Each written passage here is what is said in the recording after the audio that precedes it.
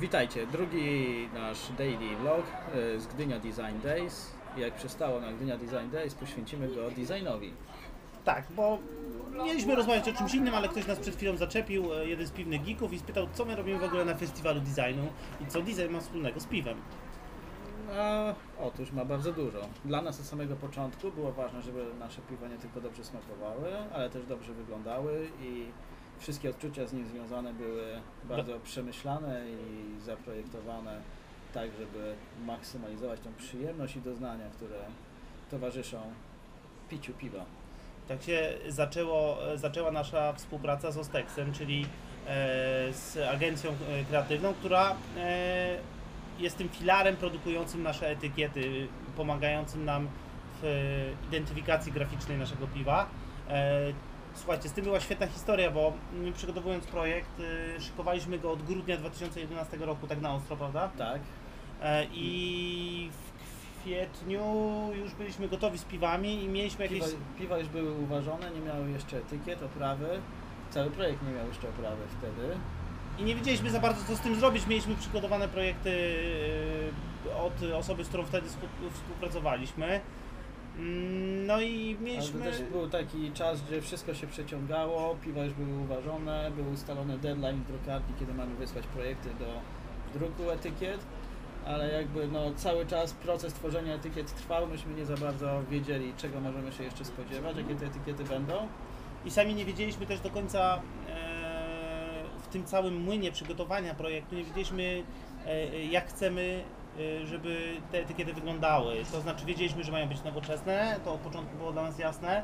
E, e, e, Wiedzieliśmy, że chcemy się odróżnić na rynku tym, bo wyznajemy taką zasadę, że chcemy robić i piwa, i te oprawy takie, jakie jesteśmy, to co lubimy, e, chcemy prezentować, więc dla nas był...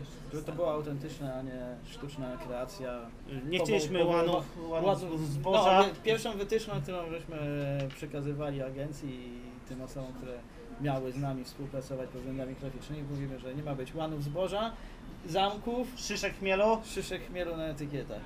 Tak, i mieliśmy pewien projekt gotowy i poz, ja poznałem Sebastiana, czyli, e, czyli e, dyrektora kreatywnego Ostexu, w- jako że on się wtedy też pasjonował piwami, e, spotkaliśmy się i gadaliśmy kiedyś o etykietach i jakimś takim dziwnym przypadkiem wysłałem mu te nasze projekty do, do oceny.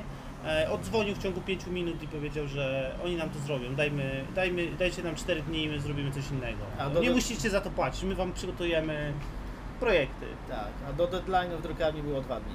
E, e, i, I jakoś tak po, po, po, w nocy, po, po trzech czy po czterech dniach dostaliśmy, dostaliśmy te projekty i to było takie naprawdę wow.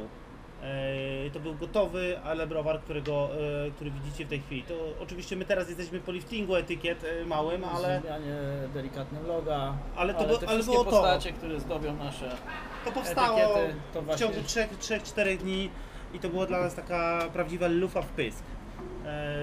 Siedliśmy, Michał do mnie zadzwonił i mówi, to będzie to, to będzie to.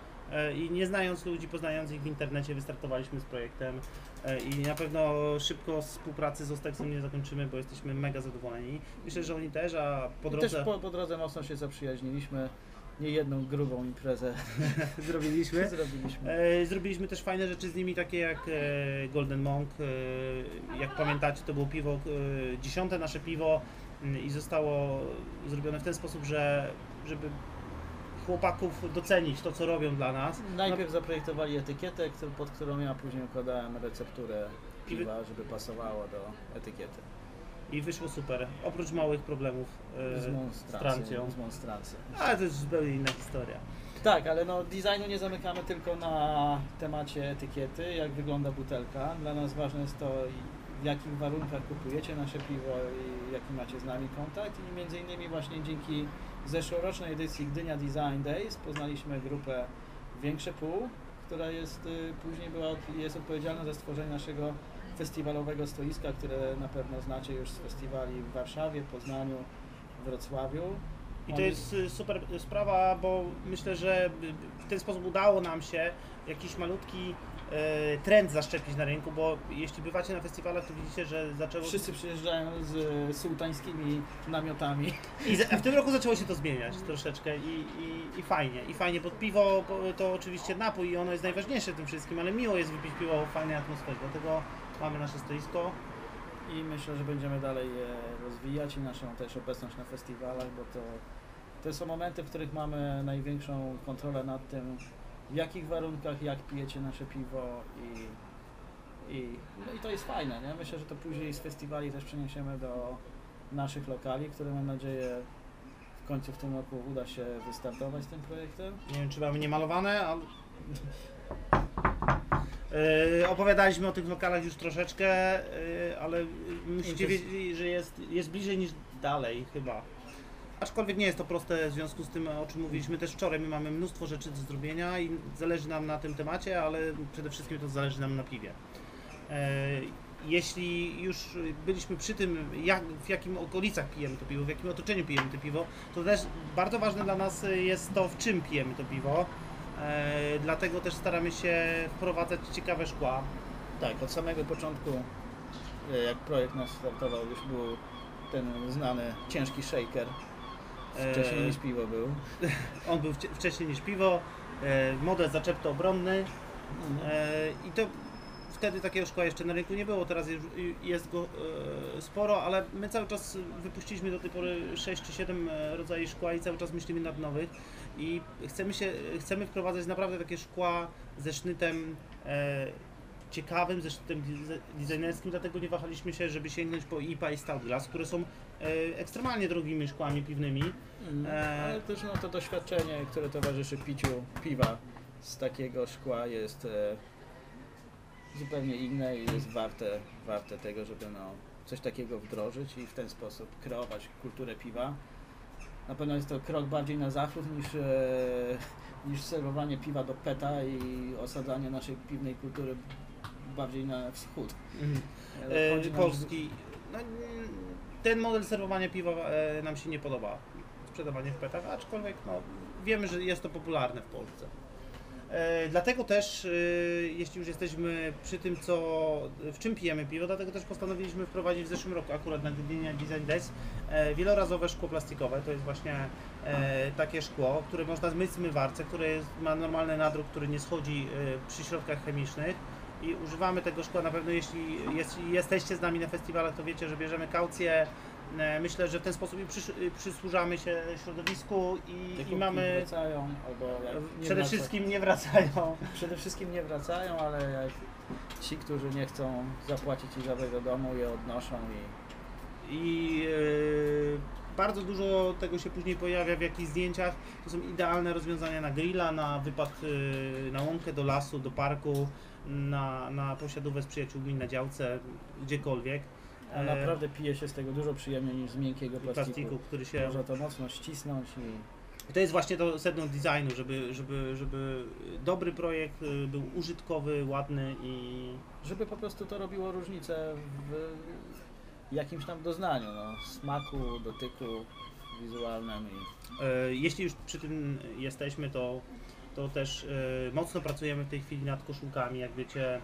E, mamy w tej chwili dostępne koszulki, a pracujemy nad specjalną linią. Właśnie też dzięki współpracy, dzięki e, e, poznaniu ludzi chcemy przygotować specjalny projekt koszulkowy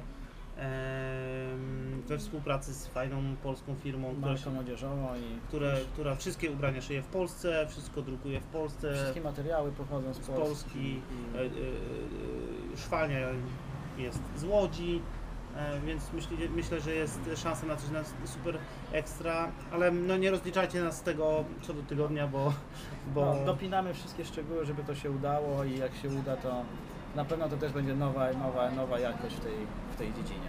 i ciekawe są modele tych koszulek, myślę, myślę, że spodziewajcie się czegoś innego, nie logo, nie postaci, tylko czegoś takiego naprawdę fajnego. E, Last but not least. Tak, no najważniejsze to piwo, tak? I projektując nowe piwa, też mamy pewne założenia. To nie jest tak, że robimy nowe piwo i zobaczymy, co z tego wyjdzie. mamy określone założenia, w jakich sytuacjach chcemy, żeby to piwo było pite, w jakich e, porze dnia ma smakować najlepiej. Też myślimy o tym, no, co zrobić, żeby właśnie pokazać cały, całą kulturę i kontekst kulturowy, w którym dany styl piwa powstawał. Więc tam są też taki złożony proces i przy, e, dobrze przemyślany, zaprojektowany.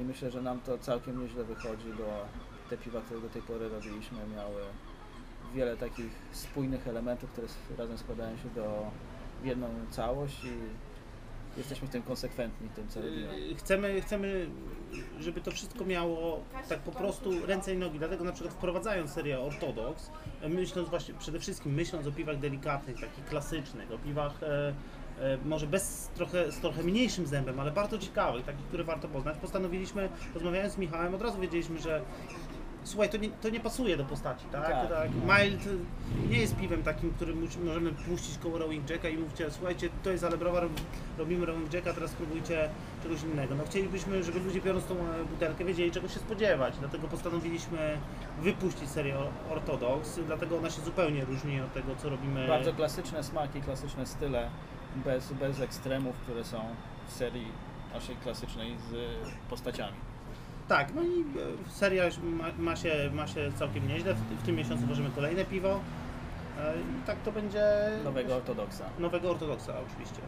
E, No i słuchajcie, to wszystko na dzisiaj. Spotykamy się jutro i jutro może sobie porozmawiamy, bo w czasie tej rozmowy wysz, wyszło nam, że, że dużo rzeczy robiliśmy, bo kogoś poznaliśmy. To właśnie może Tak. porozmawiamy o O- poznawianiu i Poznawaniu ludzi, jak piwo sprzyja temu.